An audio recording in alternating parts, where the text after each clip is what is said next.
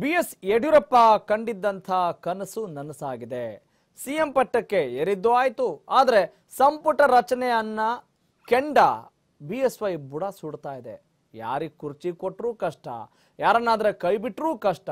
ಘಟಾನುಘಟಿ ನಾಯಕರೇ ಸಚಿವ ಸ್ಥಾನಕ್ಕೆ ಲಾಬಿ ಶುರು ಮಾಡಿದ್ದಾರೆ. ಸಂಪುಟ ಸರ್ಕಸ್ ಹಾಗಾದರೆ ಹೇಗಿರಬಹುದು?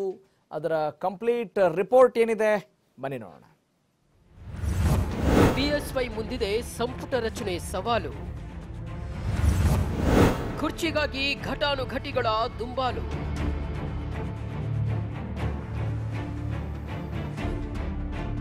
ದಕ್ಷಿಣ ಭಾರತದಲ್ಲಿ ಮತ್ತೆ ಕಮಲ ಅರಳಿಸಿರೋ ಬಿಎಸ್ ಯಡಿಯೂರಪ್ಪಗೆ ದೊಡ್ಡ ಸವಾಲೆದುರಾಗಿದೆ ಹದಿನಾಲ್ಕು ತಿಂಗಳ ಹಿಂದೆ ಮಾಡಿದ್ದ ಶಪಥದಂತೆ ಸಿಎಂ ಪಟ್ಟಕ್ಕೇರಿರೋ ಬಿಎಸ್ವೈಗೆ ಸಚಿವ ಸಂಪುಟದ್ದೇ ಚಿಂತೆ. ಯಾರಿಗೆ ಕುರ್ಚಿ ಹಾಕೋದು, ಯಾವ್ಯಾವ ನಾಯಕರಿಗೆ ಯಾವ ಖಾತೆ ನೀಡೋದು ಅನ್ನೋದೇ ದೊಡ್ಡ ತಲೆನೋವಾಗಿದೆ. ಹೀಗಾಗಿಯೇ ವೈ ಅಳೆದು ತೂಗಿ ಪಟ್ಟಿ ರೆಡಿ ಮಾಡ್ತಿದ್ದು. ಎಲ್ಲಿ ಮತ್ಯಾರು ಸಿಡಿದೇಳ್ತಾರೋ ಅನ್ನೋ ಭಯ ಬಿಟ್ಟು ಬಿಡದಂತೆ ಕಾಡ್ತಿದೆ ಯಡಿಯೂರಪ್ಪಗೆ ಅತೃಪ್ತರ ಕ್ಷೇತ್ರಗಳೇ ದೊಡ್ಡ ಚಾಲೆಂಜ್ ಆಗಿದೆ. ಯಾಕಂದ್ರೆ ಮಾಜಿ ಸ್ಪೀಕರ್ ರಮೇಶ್ ಕುಮಾರ್ ಹದಿನೇಳು ಶಾಸಕರನ್ನ ಅನರ್ಹ ಮಾಡಿ ಗೇಟ್ ಪಾಸ್ ಕೊಡ್ತಿದ್ದಂತೆ. ಇವರೆಲ್ಲ ಬಿಜೆಪಿಯತ್ತ ವಾಲ್ತಿದ್ದಾರೆ. ದೋಸ್ತಿಯಿಂದ ಬಂಡೆದ್ದು ಬಂದವರು ಬಿಜೆಪಿಯಲ್ಲಿ ಬೇರೂರ್ತಿದ್ದಂತೆ. ಅಲ್ಲಿರೋ ಕಮಲ ನಾಯಕರಿಗೆ ಆತಂಕ ಶುರುವಾಗಿದೆ. ತಮ್ಮ ಹಿಡಿತವೆಲ್ಲಿ ತಪ್ಪಿ ಹೋಗುತ್ತೋ, ತಾವೆಲ್ಲಿ ಮೂಲೆ ಗುಂಪಾಗ್ತೀವೋ ಅನ್ನೋ ಭಯ ಕಾಡೋಕೆ ಶುರುವಾಗಿದೆ.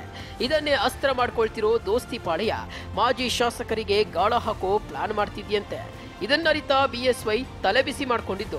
ಹಿರೇಕೆರೂರು ಬಿಜೆಪಿ ಮಾಜಿ ಶಾಸಕ ಯು ಬಿ ಬಣಕಾರ್ಗೆ ಪುಲಾವ್ ನೀಡಿದ್ದಾರೆ. ಈ ಮೂಲಕ ಒಬ್ಬೊಬ್ಬರನ್ನೇ ಮನವೊಲಿಸೋ ಕೆಲಸ ಮಾಡ್ತಿದ್ದು.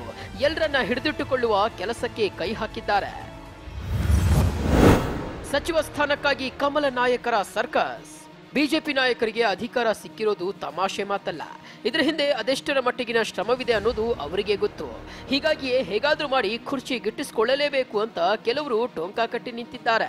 ಅದರಲ್ಲೂ ಮಾಜಿ ಸಿಎಂ ಜಗದೀಶ್ ಶೆಟ್ಟರ್ ದೊಡ್ಡ ಖಾತೆಯ ಮೇಲೆಯೇ ಕಣ್ಣಿಟ್ಟಿದ್ದಾರಂತೆ. ಸ್ಪೀಕರ್ ಆಗಲ್ಲ ಅಂತ ಕಡ್ಡಿ ಮುರಿದಂತೆ ರಿಜೆಕ್ಟ್ ಮಾಡಿದ್ದ ಶೆಟ್ಟರ್ ಲೋಕೋಪಯೋಗಿ ಖಾತೆಗೆ ಬೇಡಿಕೆ ಇಟ್ಟಿದ್ದಾರಂತೆ. ಕಮಲ ನಾಯಕರು ಎಷ್ಟೇ ಸರ್ಕಸ್ ಮಾಡಿದ್ರು ಹೈಕಮಾಂಡ್ ಮುದ್ರೆ ಬಿದ್ದವರು ಮಾತ್ರ ಮಂತ್ರಿ ಪಟ್ಟ ಗಿಟ್ಟಿಸಲಿದ್ದಾರೆ. ಸಂಪುಟ ರಚನೆ ಯಾವಾಗ ಮಾಡಬೇಕು ಯಾರಿಗೆಲ್ಲ ಸ್ಥಾನ ನೀಡಬೇಕು ಅನ್ನೋದನ್ನ ಕೇಂದ್ರ ನಾಯಕರು ತೀರ್ಮಾನ ಮಾಡ್ತಾರೆ ಅಂತ ಸಿಟಿ ರವಿ ಹೇಳಿದ್ದಾರೆ. ನಾಳೆ ಸಭಾಧ್ಯಕ್ಷರು ಚುನಾವಣೆ. ಸಭಾಧ್ಯಕ್ಷರು ಚುನಾವಣೆ ನಂತರ ಬಹುತೇಕ ರಾಷ್ಟ್ರೀಯ ಮುಖಂಡರ ಜೊತೆನಲ್ಲಿ ಸಮಾಲೋಚನೆ ಮಾಡಿ ಇವರು ಸಚಿವ ಸಂಪುಟವನ್ನು ಮುಖ್ಯಮಂತ್ರಿಗಳು ಶೀಘ್ರದಲ್ಲೇ ಮಾಡ್ತಾರೆ ಅನ್ನೋ ವಿಶ್ವಾಸ ಇದೆ. ಚುನಾವಣಾ ಅಖಾಡಕ್ಕೆ ಇಳಿಯಲ್ವಂತೆ ಹಳ್ಳಿ ಹಕ್ಕಿ. ಜೆಡಿಎಸ್ನಿಂದ ಹೊರಬಂದಿರೋ ಹುಣಸೂರು ಅನರ್ಹ ಶಾಸಕ ಎಚ್ ವಿಶ್ವನಾಥ್ ಅಚ್ಚರಿಯ ಸ್ಟೇಟ್ಮೆಂಟ್ ಕೊಟ್ಟಿದ್ದಾರೆ. ದೆಹಲಿಯಲ್ಲಿ ನಿಮ್ಮ ಟಿವಿ ಫೈವ್ ಜೊತೆ ಮಾತನಾಡಿದಂತಹ ವಿಶ್ವನಾಥ್ ಮುಂದೆ ಚುನಾವಣೆಗೆ ನಿಲ್ಲಲ್ಲ ಅಂತ ಮನದಾಳವನ್ನ ಬಹಿರಂಗಪಡಿಸಿದ್ದಾರೆ. ಈ ಮೂಲಕ ರಾಜಕೀಯ ಭವಿಷ್ಯಕ್ಕೆ ಫುಲ್ ಸ್ಟಾಪ್ ಇಡೋ ಮಾತನಾಡಿದ್ದಾರೆ. ನಾನು ಇನ್ಯಾವ ಚುನಾವಣೆಗೂ ಸ್ಪರ್ಧೆ ಮಾಡಲಿಕ್ಕೆ ಹೋಗ್ತಾ ಇಲ್ಲ. ಎಸ್ ನಾನು ಮೊದಲೇ ಡಿಕ್ಲೇರ್ ಮಾಡಿದ್ದೀನಿ. ಈಗಾಗಲೇ ಒಂದು ಮೂರು ವರ್ಷದ ಹಿಂದೆನೇ ಮಾಡಿದ್ದೀನಿ ನಾನು. ಒಂದು ಇನ್ಸ್ಟಿಟ್ಯೂಷನ್ ಮಾಡಬೇಕು ಅಂತ. ಒಟ್ನಲ್ಲಿ ಕಮಲ ಈಗ ಬಿಸಿ ಬಿಸಿ ಚರ್ಚೆಯಾಗ್ತಿದ್ದು ಕುರ್ಚಿ ಕಾದಾಟ ಶುರುವಾಗಿದೆ.